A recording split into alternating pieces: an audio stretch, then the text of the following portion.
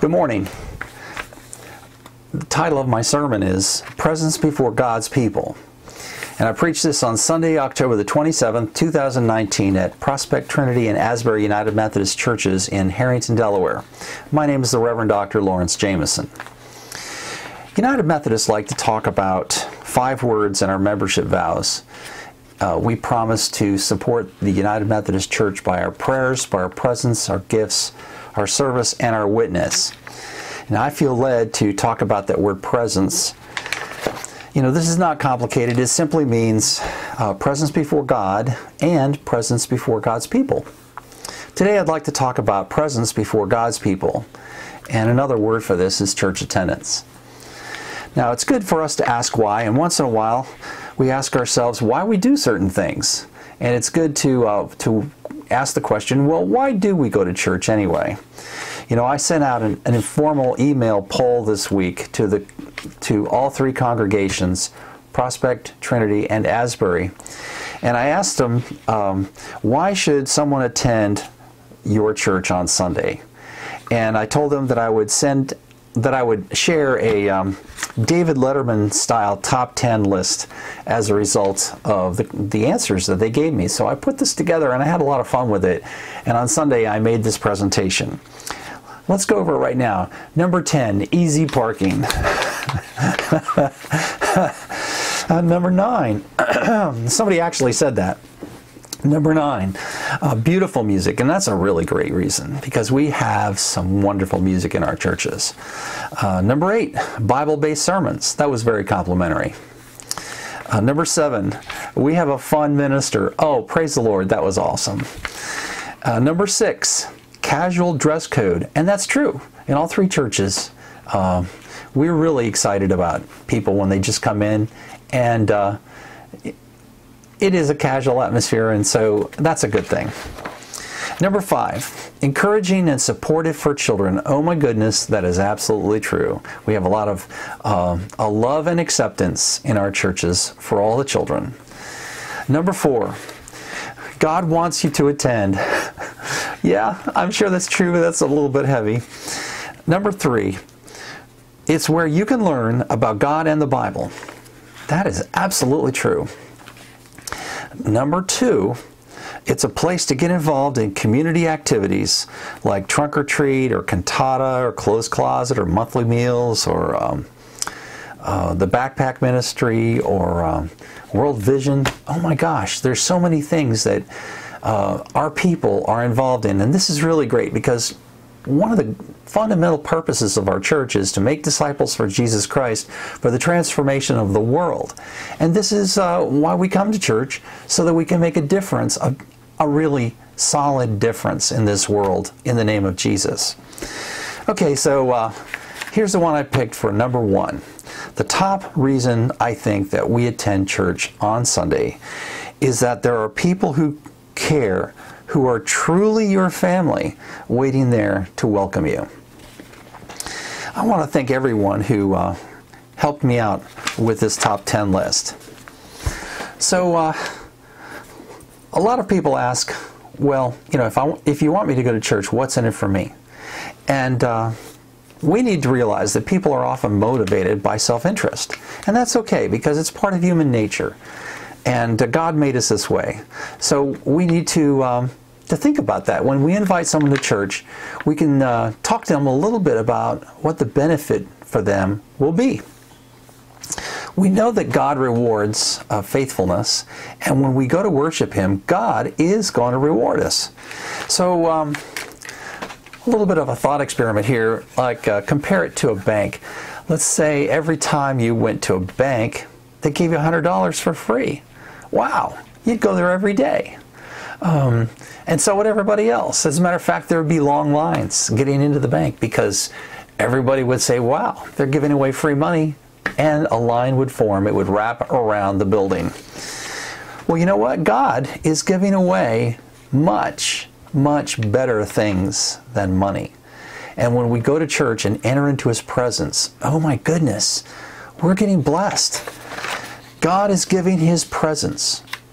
And it's His presence. His presence is better than His blessing. His blessings are really just a, a side effect of His presence. Along with His presence, God gives us His blessings, His wisdom, His power, His favor, His guidance, His healing touch, His encouragement, His transforming love, His mission, His viewpoint, His kingdom, His exceeding excellence, His authority, His compassion, His problem solving insights, His grit and ability to endure hardship, His humor, His astounding loveliness, His peace, His forgiveness, and his commission, and that's just the tip of the iceberg. You know, we might ask the question well, where in the Bible does it promise that if I go to church, I will encounter the presence of God? Oh, it's there. It's in Matthew 18 20. That's where Jesus said, For where two or three gather in my name, there am I with them. End quote. You know, this is an amazing truth that when we are present with each other, we are also present with God. Let me tell you uh, my story about a guy named Walter. Uh, I met Walter in Elk Neck, Maryland. He uh, he was a he attended the church at uh, Wesley United Methodist Church in Elk Neck, Maryland. It's like halfway between North East and Elkton. And uh, I was the pastor there from 1993 to 1999. I had a great experience there. Loved those people, loved that church. It was just a lot of fun. Walter was a quiet guy. he attended our men's group and uh, he attended church. And he was always in the background. Uh, he just took everything in. He didn't say much. He never gave his testimony.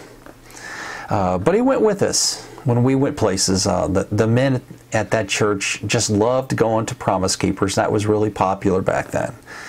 And uh, Walter would attend Sunday school and he would come to our Bible studies. One day, um, I had a chance to uh, visit Walter in his home, and I asked him what he thought about our group, and his answer surprised me. He said that our message was easy to understand, and he was just waiting to see if the men themselves who were in that group were for real. I did not expect him to answer that way. Basically, Walter was asking Did the message that these men were always talking about and the Bible verses they professed, did it make it all the way to their hearts? And it did, did it make their characters better? In other words, were they for real? Now, he was asking if the gospel was just baloney or did it change the lives of the men and make them more like Jesus?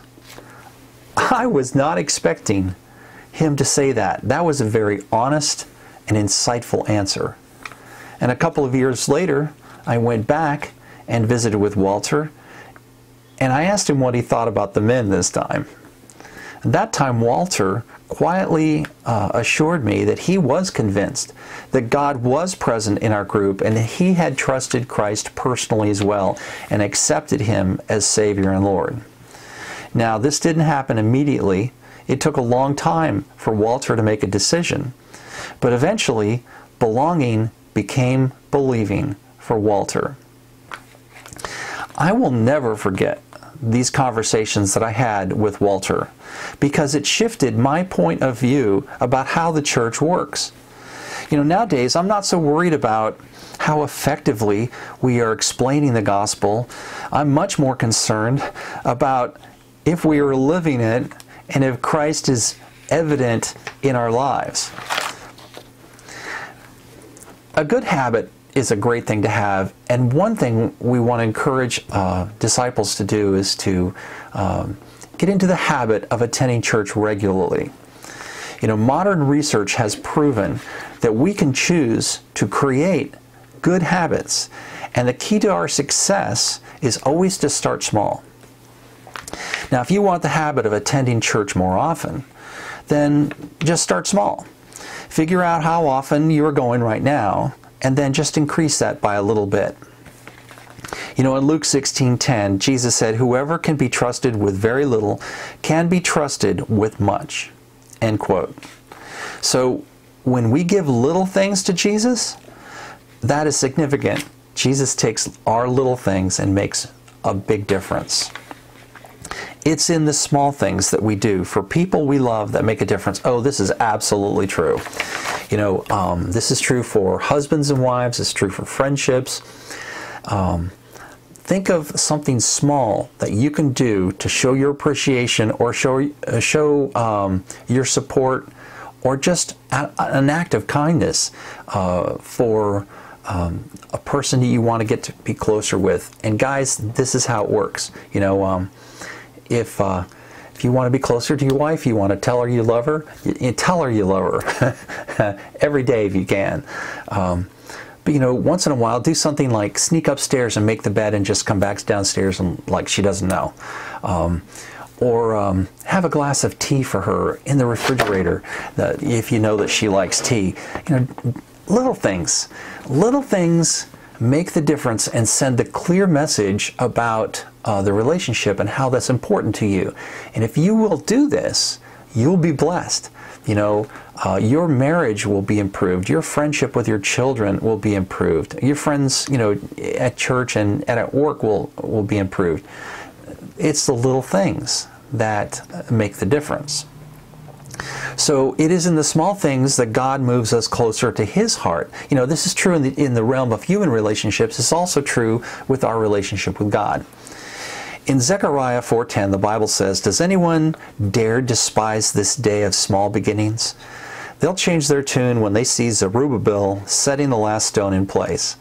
Okay, that might sound a little obscure, but it's right on target when it comes to small things. You know, God has a way of taking the little things and making a big difference. God's power is revealed in the leverage of habits. And if you want to grow in your discipleship, part of that is showing up, just showing up, going more often. And the way you do that is making the decision to go a little bit more often.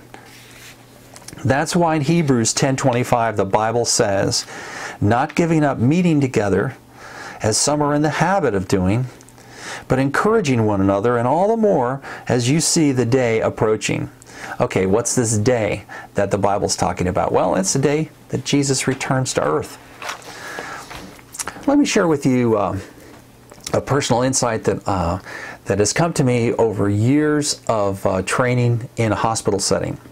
You know, uh, I've been to hundreds of hours of lectures and training in, in hospitals, especially for chaplaincy. Uh, I've been in so many hospitals, and I've actually led chaplaincy programs and, and taught pastors and lay people uh, how to visit. And uh, this is one of the best things I ever learned. Okay, I really set you up here.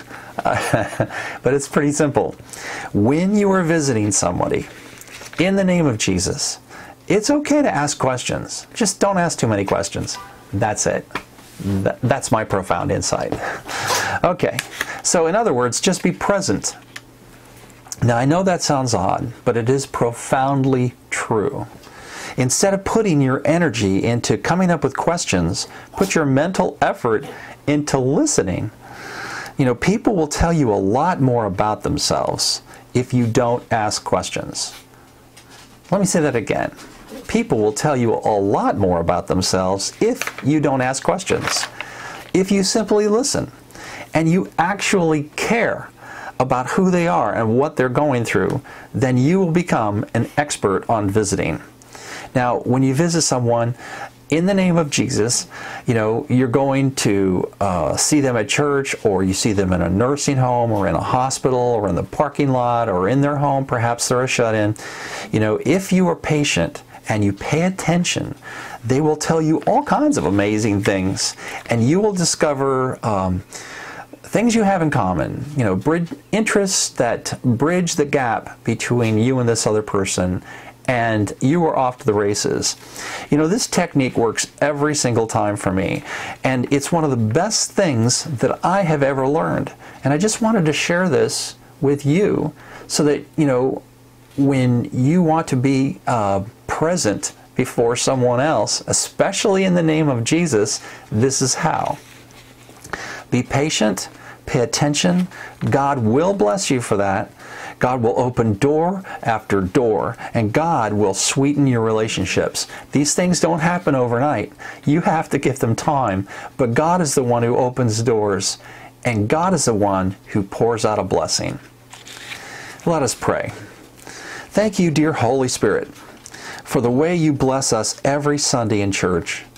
You inspire women and men to study and teach the Bible. You create friendships that encourage us. You fill our hearts with songs of wonder, love, and praise. In the name of Jesus Christ we pray. Amen. Thanks for listening to this sermon.